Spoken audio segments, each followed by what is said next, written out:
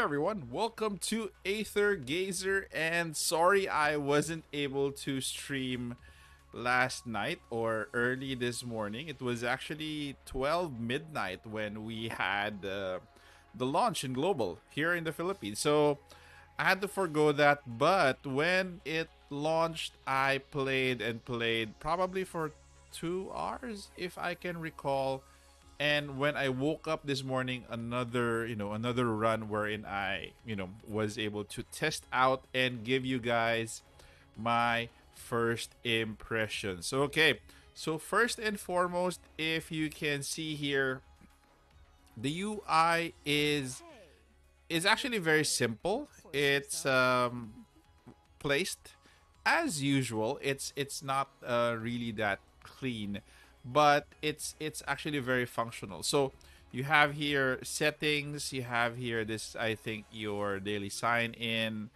and the like missions are here, mail, chat, friends. Up above you have um, your energy, which is this one. Uh, you have your credits here or your gold. This is your summon currency. Um, uh, this one is called Shifted Star the other one, this is your premium currency, which is um, flower something. Shifting flowers. Okay, so those are your currency, guys, and that is how we spend, um, you know, for the game. You have your banners here, of course, and uh, so far we haven't had any codes yet. So I, I'm wondering when they're going to be putting out codes for the community. So I'm actually I was actually expecting codes because they have um, they have uh, what they call this. They have given rewards already, but no codes so far.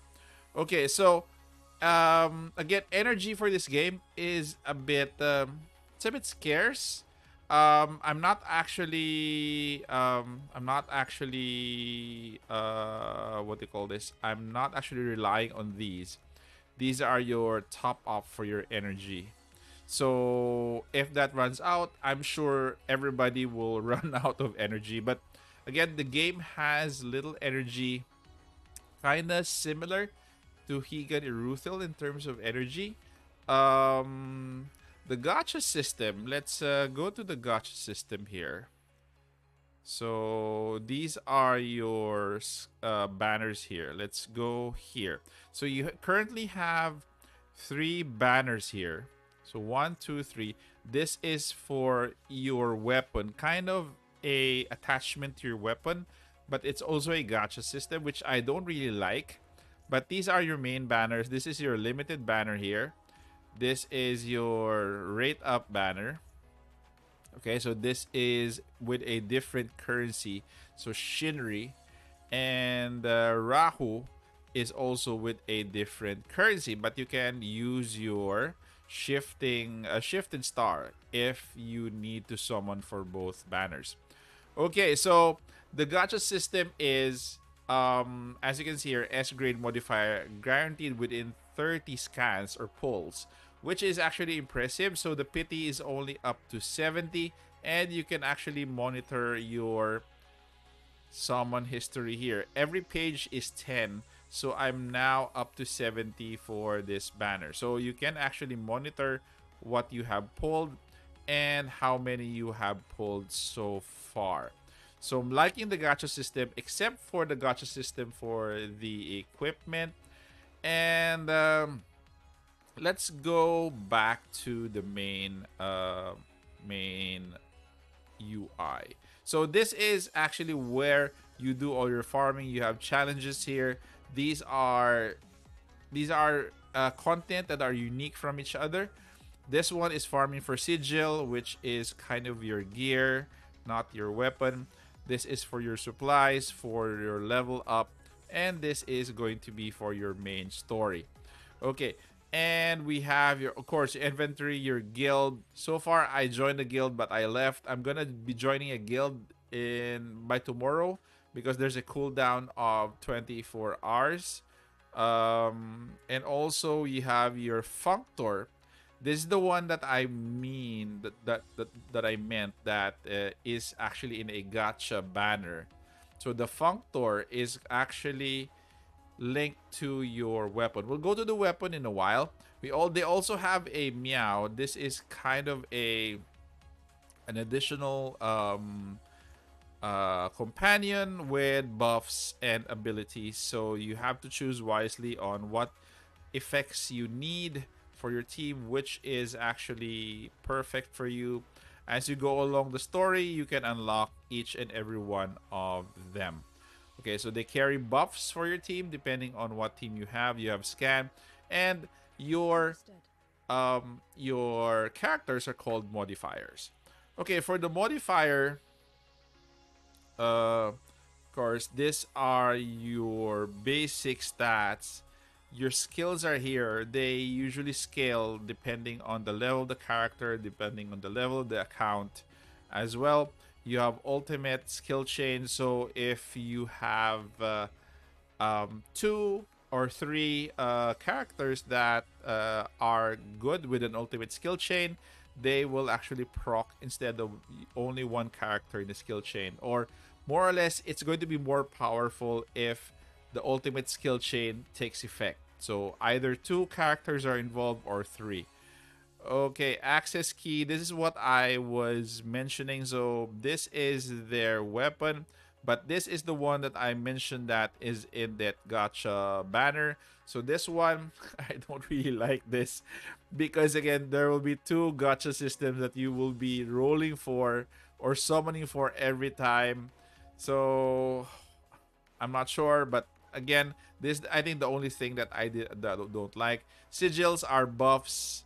Um, I, I, I, you know, I treat them as gears. They have skill set effects, so you have to have three of each for you know for a set effect to take effect, and the codes are here. This is kind of your skill tree.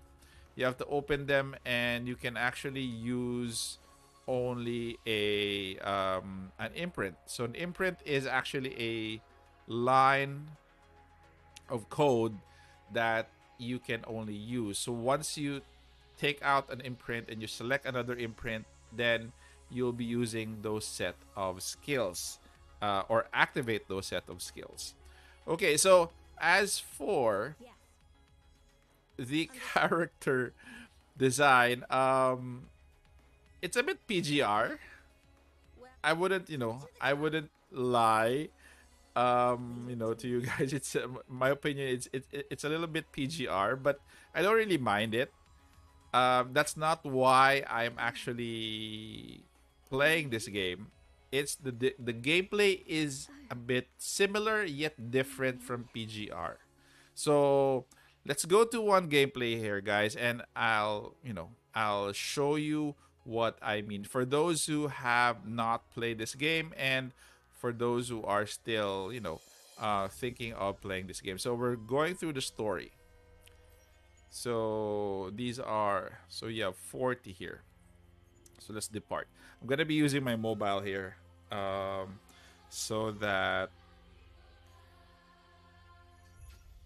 let's do one more of this one let's re-clear this because i want to see i want you guys to see all three characters so you have three there obviously you have your combat power up there so for your combat power um again as you level them up they go up as well this is what i mean the ultimate skill chain so i have one skill chain up uh, activated, which is the uppermost.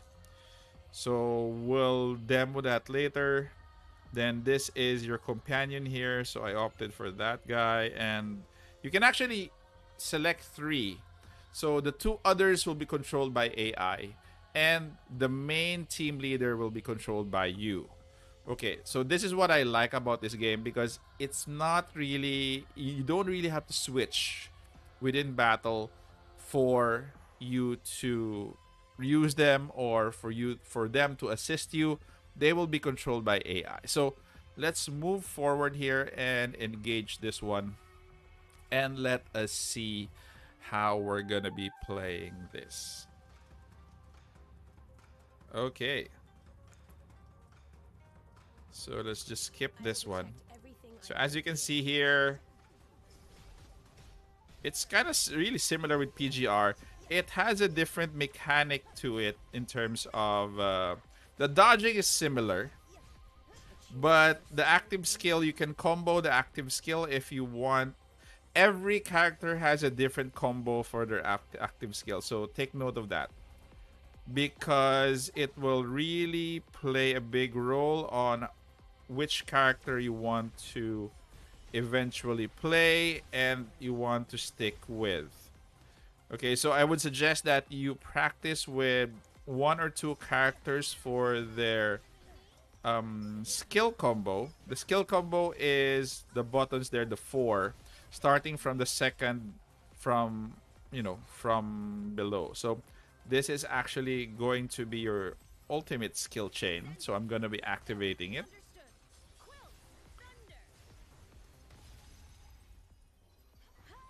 And we have another one, another ultimate. So technically you have a lot of ultimates. I think you'll have you'll be having two at least. So there you go.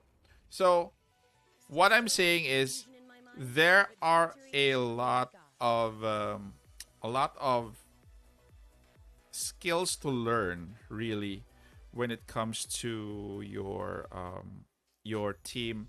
Combos active skill combos there it's going it's going to be there in the tutorial. So again this is actually if you compare with pgr i like this more it's not really that hard to play this game not really a lot of combos to take note of not a lot of switches in terms of characters and um, i think it's it's it's more fun to have three rather than only have one in a battle. So again, I like the format. I like it better. I'm gonna be sticking with this for probably the next few months and see how I progress so far. So I played already for one whole day and I'm actually liking this game. I will stick to it and uh, probably give you guides, guys, um, in the next few days. And also, if you have played this game already, Aether Gazer, what are your thoughts? Is it similar to PGR? Is it a game on its own? What do you think of the gameplay versus PGR? What do you think of uh, the characters? Me, I prefer this over PGR. I think I had it. It took a lot of my time playing PGR because there was there was a lot to learn the learning curve is actually very big. But for this one, um, probably get give give you a day or two, then you could understand the system already. So that is it, guys, for my first impression. So comment down below. Also put a like to this video if you find it informative. So thank you very much, guys, for staying this far. Take care, stay safe. This is the Warden, and I'm out of here.